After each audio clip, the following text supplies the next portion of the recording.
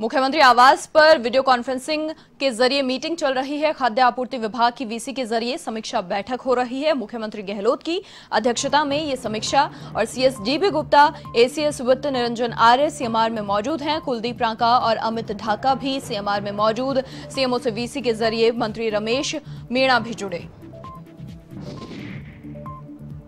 मुख्यमंत्री आवास पर वीसी के ज़रिए मीटिंग चल रही है। खाद्य आपूर्ति विभाग की वीसी के ज़रिए समीक्षा बैठक हो रही है। सीएमओ से वीसी के ज़रिए मंत्री रमेश मीणा भी जुड़े। और मुख्यमंत्री आवास पर वीडियो कॉन्फ्रेंसिंग के ज़रिए ये समीक्षा बैठक हो रही है।